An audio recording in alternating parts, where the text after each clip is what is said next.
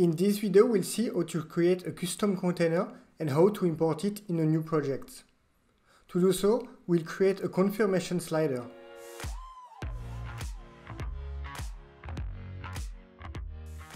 Hello and welcome to this How to Touch video.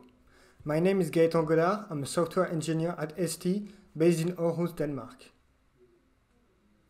Sometimes in your GUI you want to create a specific behavior. That's what the custom containers are made for. Because you can add your own code in the custom container, you can make it do anything you want. Also, a custom container can be exported into a new project. This is very useful when you want to reuse that custom widget. Today we will design a confirmation slider. We will start the video by designing the custom container. We will see the specificities of the custom container. Then we will export it. And finally, we will import it in a new project and see the different conflicts we can have. To create a new custom container, click on the Container tab on the top left of your screen. Then click on the plus icon. Here I created the custom container one. I can resize it by dragging the corner. Also, you can see that pink dotted line, which is the size of the whole screen. If you add an element outside of the custom container, it will not be shown. Let's display that by adding a box, and here you can see that the box is cut. To design my slider, I will first add a background. So I'll select image, then I will go in the stock, select my favorite theme, and go into the widget, button, regular. I want the height to be 36 because I want it to be thin. And here we have a button icon that I will use as the background. I can now resize my custom container to the size of the image. Now I will add a circle that will be the part that the user actually moves. I need to resize it to fit it into the slider. I also want to add an arrow to show the direction in which we have to slide. To do so, I'll add a scalable image, select bilinear interpolation and head back to the stock. This time I'm going to go to the material icons theme and look for an arrow. This one will do fine, let's just resize it. The arrow and the circle have to move together. So I will put them in a regular container so they are linked. Let's also resize the container and reposition the widget inside it. I will add a second image. This time it will be a check mark for once the slide has been finished. Again, this has to be a scalable image to be able to resize it. However, this time I will set its alpha value to 0 because I want it to be invisible at the beginning. Finally, let's add two text area. One to tell the user to slide and another one that will fade in once the slide has been finished. The second one has to have an alpha value of 0 and I will make it green. I have renamed my widget, now let's generate code and go into VS.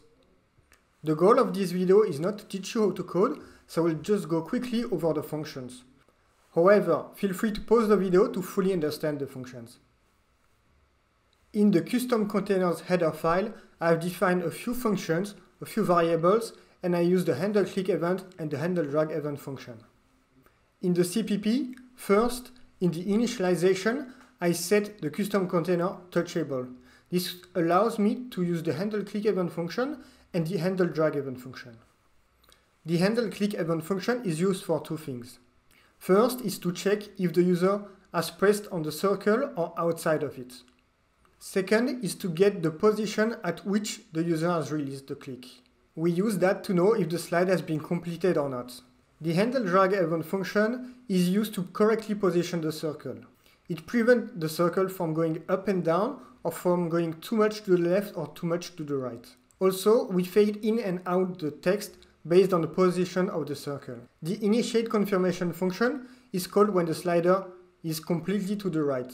It calls the action that we use in Designer and prevent the user from touching the custom container again.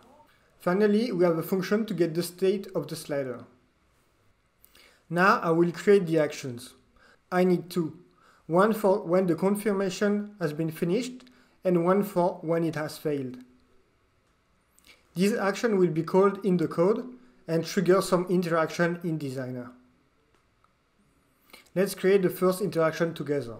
The trigger will be the action validated swipe. I want to fade a widget, the scalable image confirmed. I want to set it visible, so I set the alpha value to 255, add an easing equation, add a duration, and that's it. I also need to do that for the interaction to fade out the widgets, fade out and in the text, and finally, one interaction to move back the slider at its beginning position when the slide has failed. If you want to know more about fading and moving, you can check the other video in that playlist. The final step in Designer is to create a trigger. This will be very useful when at the screen level we want to know when the slide has been confirmed. To do so, I will also add an interaction. The trigger will be action validated and the action will be to emit the trigger. Now for learning purposes, I will add a second language. I will add the language French and set the translations. To export your widget, go back to the Container tab, right-click on the custom container you want to export and then click Export. Here you see a window pop-up that shows no error. In that window, you can also choose the location of the exported widget. It is exported as a .tpkg file, and you can unzip it to see what is inside. The most important files are the asset and the GUI. To import my custom container, first I will add a second language. I will add French, but this time I will call it FR. Now I can go on Edit, Import, Custom Container and look for my tpkg file. Here I have an issue. The custom container uses a typography called default, but in my project I already have a typography called default. To fix that, I need to go back to the custom container and change the name of the typography. I will call it default CC for custom container, confirmation slider. Now I can export it again with the new typography name. I will now retry to import it, and here it succeeds. Now let's go to the language mapping tab and here I can select which language map to which. So FR will match to French. I will create a quick GUI to show how to use the slider.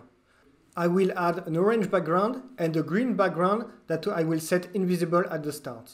Now I can add my custom container and I can add an extra button. I will create an interaction. The trigger will be the one that I receive from the custom container. The action would be to fade in the green background. I will create a second interaction. The trigger will be button is clicked and the action will be to print the output of get state. Let's see the result. When I click on the button, we see that the state is zero. Now if I slide, the text fades in and out, and if I don't go fully to the right, it resets at the start. If I go to the right, it is blocked to the right, and now getState returns 1.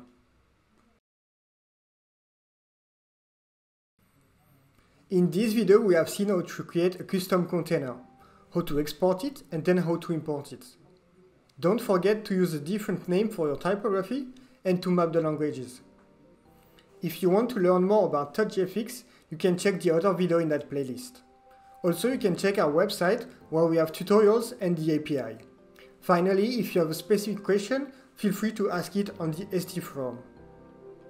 Thank you for your attention and see you in the next one.